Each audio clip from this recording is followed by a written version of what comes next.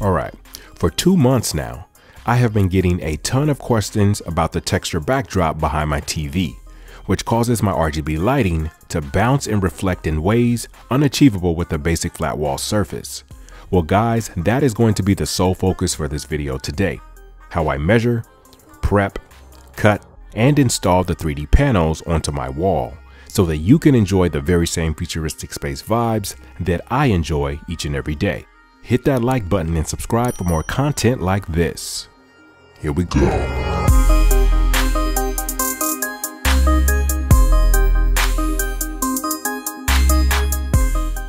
Alright guys, so I'm going to divide this tutorial up into four sections. Overview and specs, measuring, preparation, and finally cutting and installation. And while I know it may be tempting to skip ahead, I really want to encourage you guys to watch all points of the video to reduce the amount of follow-up questions that may have already been covered off on. Let's get into the overview and specs. These diamond-shaped textured tiles are made by a company called Art3D. They come in both the PVC plastic material or what Art3D refers to as plant fiber, which has a heavy-duty cardboard-like consistency. Now, the main advantage for going with plant fiber is that they are a few bucks cheaper and they're easier to cut to size than with PVC. But outside of this, in my opinion, the PVC material is better in every other way. The PVC panels are waterproof, they are flame resistant, which is a really good idea if you're going to be installing these panels behind a TV with lots of wires, and overall, they're just a lot more durable than with plant fiber. The PVC version also has a much more smooth and polished look right out the box without any painting necessary. Both versions come in packs of 12, they're each recommended for flat poreless surfaces, and they each measure 19.7 by 19.7 inches, so a single pack will cover roughly 32 square feet. I am using the matte white diamond shaped version, but I do want to point out that Art3D makes a ton of different other designs, from wavy designs to square blocks, star designs, and so on. But it's been over two years now, and I still prefer the original diamond design to all of the different designs that were available then and now.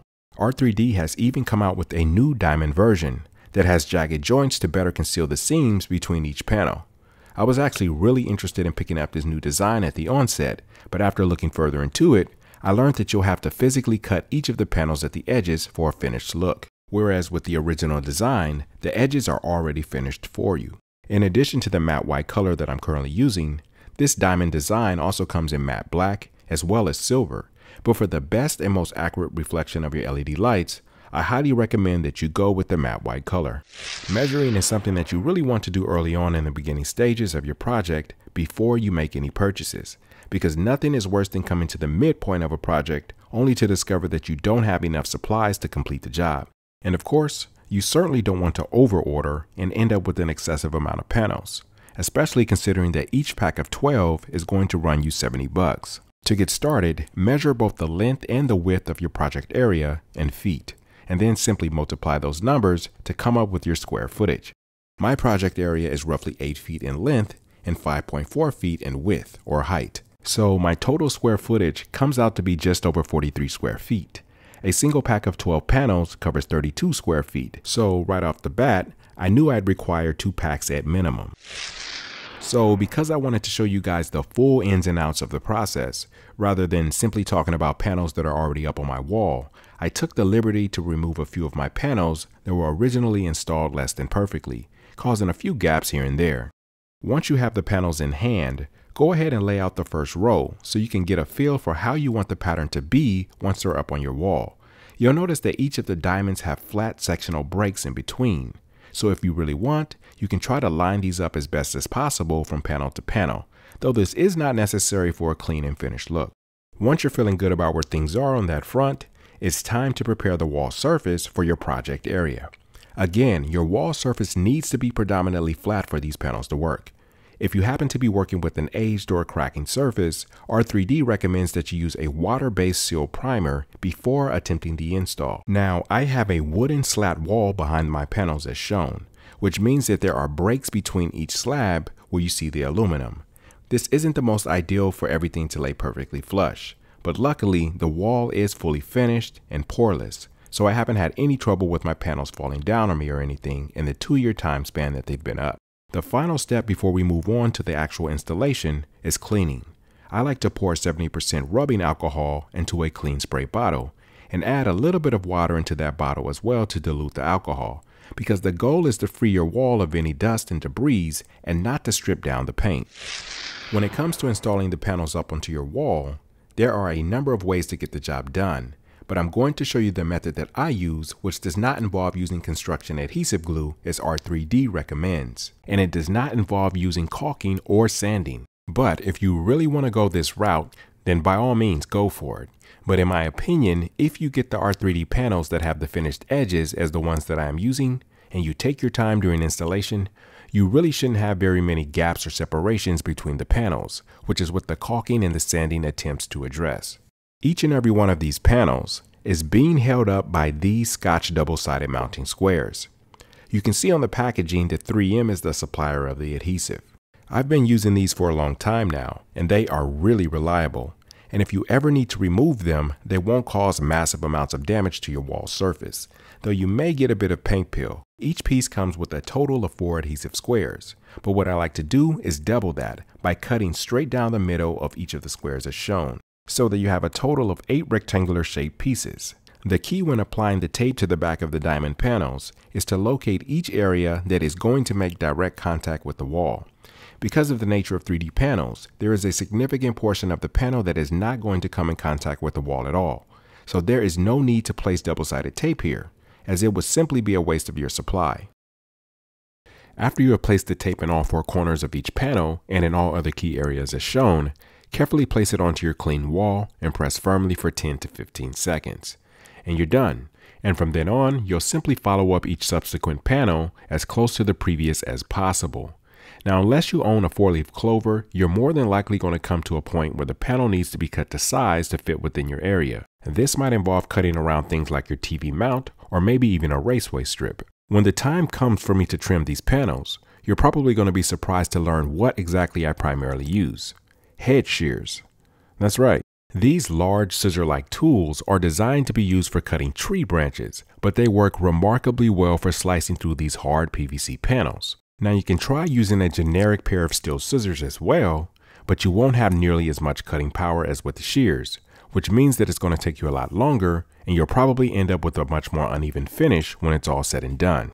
I'm sure that pretty much any hedge shear will do, but try to find a pair that has a power compounding link as this one, because this helps magnify the clamp force so you don't have to work as hard to get through this tough PVC material.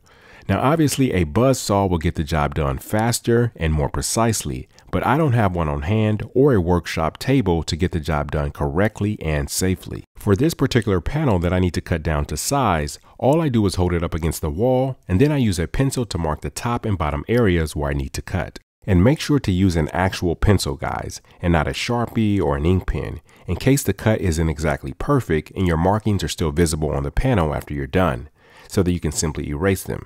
And for any fine tuning or touching up, go ahead and use an ordinary pair of steel scissors for better precision.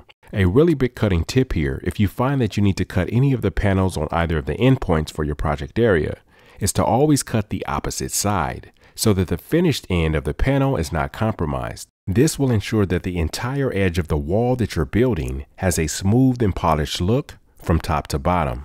If your project area is conjoining with an adjacent wall, similar to how my wall meets my cabinet right here, you could technically get away with installing the end that has been cut facing towards the edge. If you come to a situation where the cut end of a panel needs to line up directly next to a finished end, you will need to use the overlap method for a seamless look.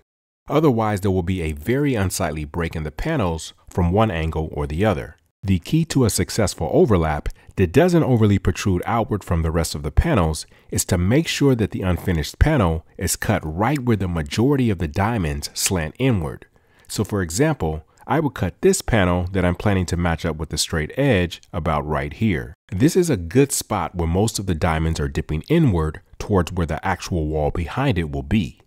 This is a little easier said than done, but if all else fails, just make sure that you don't cut directly down the middle of a very large diamond, because that will create a very noticeable bump where the panels overlap. Another pro tip, if you need to install any panels that are higher than your line of sight, is to make sure that the cut end of the panel is placed so that it is pointing upward towards the ceiling, because this 3D design is going to reveal the wall that is beneath it where the panel has been cut when viewed at a 90 degree angle. As you come closer towards the center of the wall, you won't need to be overly precise with your cuts, especially if you have a really big TV, because no one is going to see these imperfections unless they literally poke their head behind your TV, in which case you might want to start questioning the company that you keep. Another detail with my particular setup that I wanted to point out to you guys is the Echo Gear Cable Raceway, which in my opinion is one of the best TV cable concealers on the market because of its 3.5 inch width, which allows for a ton of large cables. And because of its snap on and off design, I was able to perfectly conceal the areas where the wall panel meets the raceway without the need to make any modifications to the panels at all. And that's really the extent of it guys. Again, this is the method that worked for me for my particular setup. Every situation is going to be a little different, so this tutorial is mainly intended to serve as a high level guide. Whether you decide to go with double-sided tape and skip the caulking and the sanding process, this project is going to take some time and patience, and you're probably going to mess up on a panel or two, but it's well worth the sweat on your brow because once the project is complete and you fire up your LEDs, life is never going to be the same, and you'll never be able to go back to an ordinary wall for your entertainment center again. Well, that about wraps things up for this one. If you found any part of this video to be helpful, make sure to give a quick thumbs up and to subscribe for more content like this. I'll see you guys in the next video, but until then, peace.